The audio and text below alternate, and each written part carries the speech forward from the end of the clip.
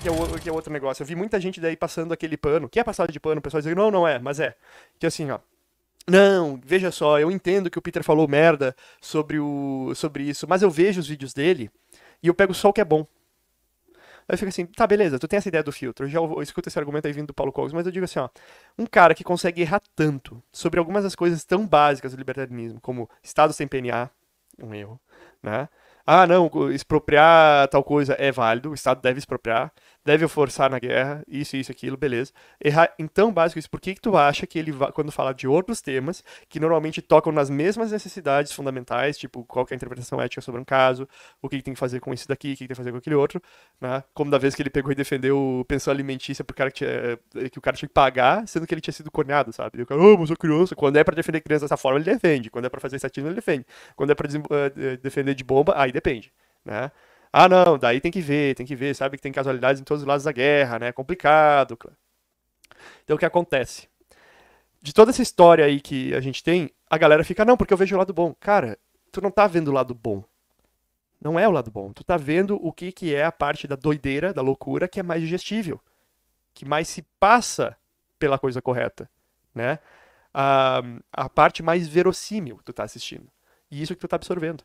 E assim que tu se degenera. Porque tu começa a absorver esses pequenos erros, esses pequenos pontos que não, não fazem sentido, mas tu começa a levar eles como verdadeiro. Tu começa, opa, aqui, aqui não é, por exemplo, guerra da Ucrânia. Então o que está sendo dito aqui, porque não é guerra da Ucrânia, é, é, libertário de verdade, tem selinho, confia, né? Foi aprovado pelo metro, tá tudo beleza, tem aqui qualidade gold. Então eu posso assistir sem medo porque não é guerra da Ucrânia. Então eu vou baixar meu senso crítico um pouquinho, vou relaxar, né? Vou escutar isso aqui se, uh, não pensando muito, ah, é verdade, é verdade, isso aqui acontece por aquilo lá, aquilo ali, sabe, tu não raciocina, simplesmente recebe, tu recebe o argumento, né?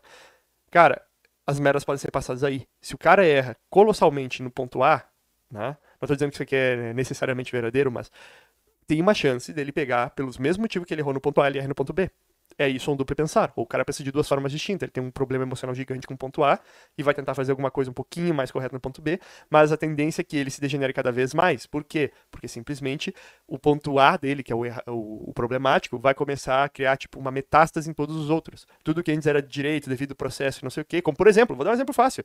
Peter era contra a autotutela. Meu Deus, a autotutela é erradíssimo. Quando explodiram lá a Dugina, ah não, aí pode. Entende? Aí pode.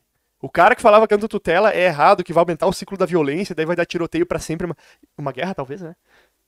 Agora pode. Entende? Isso é uma contradição dele. É uma clara contradição. Por que, que ninguém fala sobre isso? Um monte de gente falou, não, por ter errado, porque o Peter tá certo. Então o Peter tá certo e agora o Peter refuta Peter. Vocês estão entendendo o que eu tô dizendo? É um, é um ponto simples. É um ponto simples. Era só ver.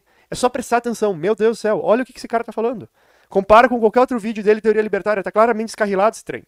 E daí o pessoal que é colaborador, que fez parte dos vídeos, que tem colaborações com isso, o pessoal pega e, e senta para fazer as coisas, né? Pra, pra ver se tá certo, pra ver se não tá. Criticar o negócio. Não. Eu posso perder o satoshinho. É muito fácil prostituir meus princípios. Ah, ele até quer se dizer libertário, foda-se, eu quero meus satoshinhos. E tem muita gente assim. Infelizmente tem muita gente assim. Tem gente que segue a mesma coisa. Tem gente que vai lá e dá bloco quando tu critica, né? Tem gente que vai lá e daí só tem diretinha, né? O cara não marca. Ai, não vou dar palco. Ah, não, eu vou soltar em diretinhas. O cara pensa que o maluco não vai, tipo, ah, quem, quem que esse fulano respondeu? Ah, deixa eu procurar. Ah, achei. Ah, tá. Isso que tá acontecendo. Pô, o cara falou uma coisa sensata.